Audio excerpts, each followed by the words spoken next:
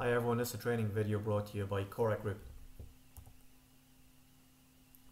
During this video we'll demonstrate how to perform a station setup.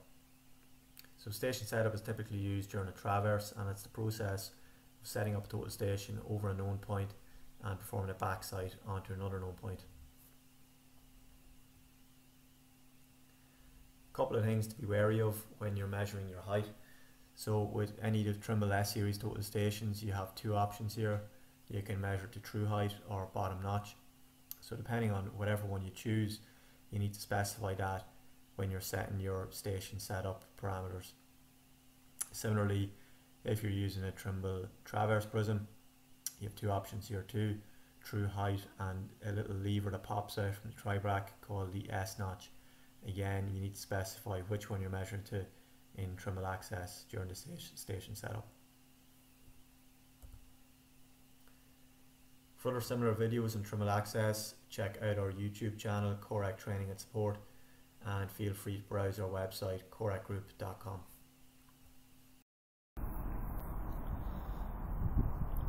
Okay, so this is station setup using a Trimble S5 and TSC7 controller.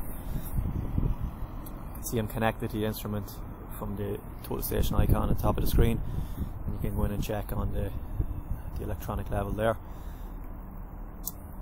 Target locked. Before I start as well I'll make sure I have the right prism selected. In this case I have a, a Traverse, Trimble Traverse target set up um, on station 2.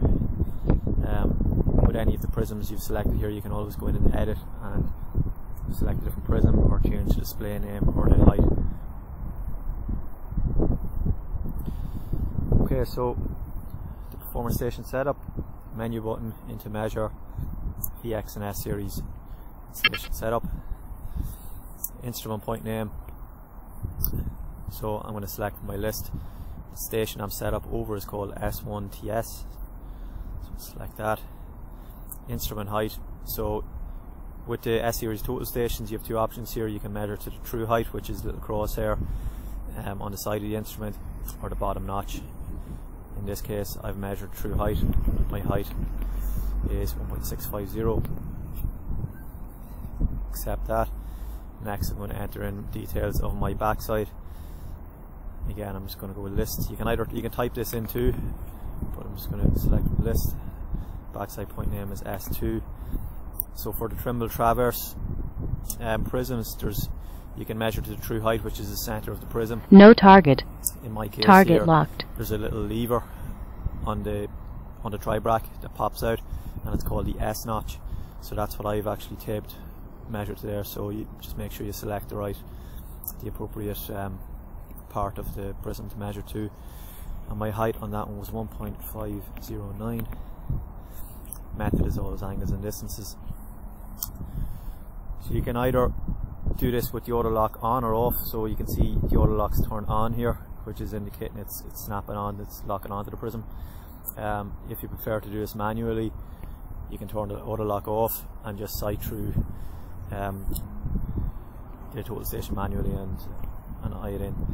Target locked. I'll just use the auto lock for this example then. Once you're locked on, hit measure.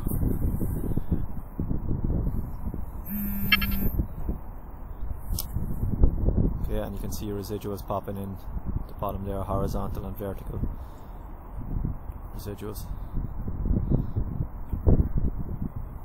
Once you're happy with that, you can hit store. Station setup completed. And setup is done.